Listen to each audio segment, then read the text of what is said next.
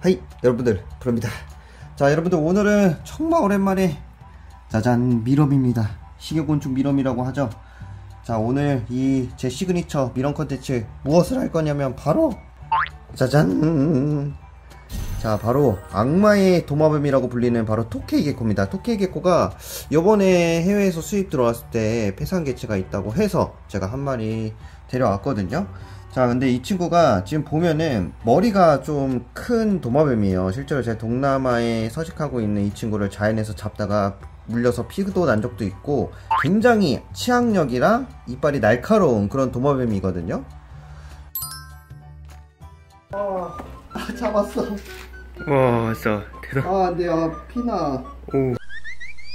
근데 이 친구를 한번 미럼에게 먹였을 때 어떻게 골격구조가 나올지 너무 궁금하더라고요. 그래서 오늘 한번 오랜만에 할 건데 미럼은 대략적으로 한 만 마리 정도라고 생각할 정도로 좀 많이 준비했습니다. 사실 쓸 수는 없는데 이거를 토케이만 먹이는 게 아니라 또 다른 것도 할 거거든요. 우선은 바로 더도 말고 토케이를 넣어보도록 하겠습니다. 자 미럼 컨텐츠는 진짜 매번 하지만 흥미롭기도 하고 좀 신기하기도 해요. 이걸 보면은 와 지금 놓자마자 이 미럼들이 보시는 것처럼 바로 달려들거든요? 이 토케이는 조금 말랐네요. 자연에서 살다가 와서 그런가 봐요. 근데 얘네들은 여기 사진에 보인 것처럼 좀 다양한 발색을 많이 지녀서 어, 현재 매니아층이 좀 많고요. 굉장히 싸나워서 테임이 잘 안되지만 어, 산란을 받아서 새끼 때부터 길러면 또 테임도 돼서 좀 길들여지기도 합니다. 근데 물리면 진짜 피가 나기 십상이고 굉장히 빠릅니다. 와. 이거 넣은 지 별로 되지도 않았는데 벌써 감싸네요. 사실 이 친구는 한 2시간 정도만 있다가 봐도 뼈가 남지 않을까. 와 여러분들. 야 5분채 되지 않았는데 벌써 파묻혔는데 잠깐만 볼게요 우와. 와 벌써 갉아먹고 있었어요. 아 갉아먹는 게 보이지는 않는데 자 이 상태로 제가 한 자고 오겠습니다. 지금 밤 10시거든요. 내일 아침에 일어나자마자 한번 보도록 할게요. 이 토케이 말고도 또 할 친구가 있습니다. 와 먹을 거를 더 달라는 것 같아요 지금 넣은 지 1시간 정도 됐어요. 사실 내일 볼라 했는데 너무 궁금해서 살짝만 보려고요. 짜라랑 쭝쭝쭝쭝쭝쭝 오, 뭐야? 오. 눈을 제일 빨리 파먹는 것 같아요. 아 여기 보면은 와, 와 벌써 팔을 다리를 파먹었고 눈을 오 파먹었어. 자 여러분들.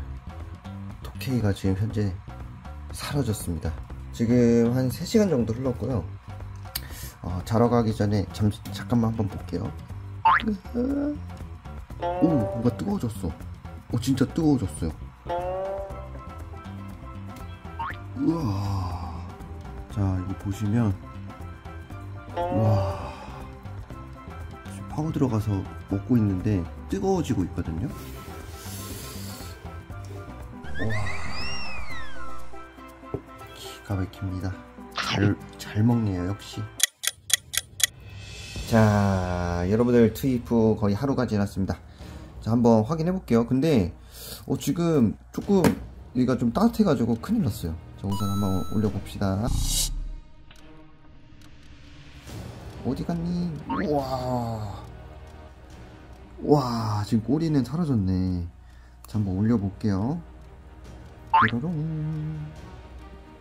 야 아직 껍질을 다 먹지는 못했는데 와 이빨이 엄청 날카로울 줄 알았는데 날카로운 게 아니었네. 날카롭지는 않지만 작은 잔이빨들이 지금 굉장히 많이 있어요. 오 자 그리고 입을 벌려 볼게요 아 와 그냥 진짜 공룡 같다 느낌이 약간 입이 엄청 크고 야 그냥 딱 진짜 별다를 게 없네요 입을 살짝 벌려보면 이빨이 그냥 잔이빨이 있습니다. 옛날에 이렇게 뭉툭한 잔이빨에서 물려서 피가 난 적이 있었는데 아, 치악력이 엄청 났나 봅니다. 자, 그리고 여러분들 제가 두 번째로 어마무시한 거 한다고 했는데 자 우선 보여드릴게요. 우와, 바로 짜자잔, 바로 연어입니다. 이게 수컷 연어인데 이게 1m가 넘는 그 연어의 머리거든요. 근데 이거를 와 하기에는 사- 생각보다 너무 큰데 잠깐만. 아 너무 커서 여기 안 들어갈 것 같아요. 그래서 여기로 옮길게요 우선은. 와 뭐야 토끼 개코 먹는데도 이게 아 열이 나는 이유가 있었네. 아 이러면은 연어까지는 조금 힘들겠는데. 와 이게 보이시나요? 이게 바로 이 거먹게 된 게 죽은 겁니다. 이제 밀웜들이 서로 많이 모여 있고 열이 차면서 약간 뜨끈뜨끈하다 했잖아요. 아 그래서 밀웜들이 좀 죽은 모양이에요. 이러면 연어를 할 양이 되지가 않는데 지금 연어는 진짜 엄청 크거든요. 제가 예전에 이제 고대어 바로 엘리게이터가를 한번 해본 적이 있었는데 개를 하고 나서 너무 재밌어서 대형어들을 한번 더 해보고 싶었거든요. 근데 이빨 엄청 날카롭죠. 우선은 여러분들 미럼이 좀 줄어들 것 같아서 귀엽게 바로 해수어인 돌돔을 한번 해보려고 합니다. 이 돌돔을 먼저 우선 해볼게요. 얘도 독특하거든요. 주둥이가. 얘가 피라에 갔다가 냉동고에 있는 거를 조사하고 남은 이 돌돔을 한 마리 얻어왔는데 그 돌돔을 먼저 간단하게 해보고 이 연어는 한번 고려해 보겠습니다. 애기 한번 버려볼까? 자, 한번 어우 벌려볼까요? 오우 이거 너무 날카로운데? 오우 야야 잠깐만 나 껴서 잠깐만 오우 와 이거 기대된다 근데 아 이거를 지금 당장 못하는 게 너무 한스럽네 너무 과소평가했나? 우와 우와 이빨 봐봐 엄청 날카롭죠 야 이거 못 벌릴 것 같은데? 으아 으아 우와 우리 여러분들이 생각하던 그 연어가 이빨이 어마무시합니다. 지금 벌려지진 않거든요. 아, 지금 얼어 있네. 얼어 있어서 이쪽만 보이는데 이 앞니빨부터 해서 진짜 엘리게이터가라고 해도 될 정도로 굉장히 크고 날카롭습니다. 와, 바다에서 사느라 굉장했구만. 그리고 여기 콧구멍 많은 분들이 얘기를 많이 하셨는데 이 연어는 지금 하기에는 양이 자 이렇게 넣어도 다 먹지도 못하고 미럼이 전량 폐사할 가능성이 있거든요 이 연어를 빠르게 먹어치울 수 있는 양이 되면 나중 컨텐츠로 하겠습니다. 와 뭐야? 굉장히 짧은 시간인데 딴청 피우는 사이에 이렇게 달려들었네요. 미럼이 이렇다니까요. 이것도 잠깐만 한번 타임랩스로 한번 돌려보겠습니다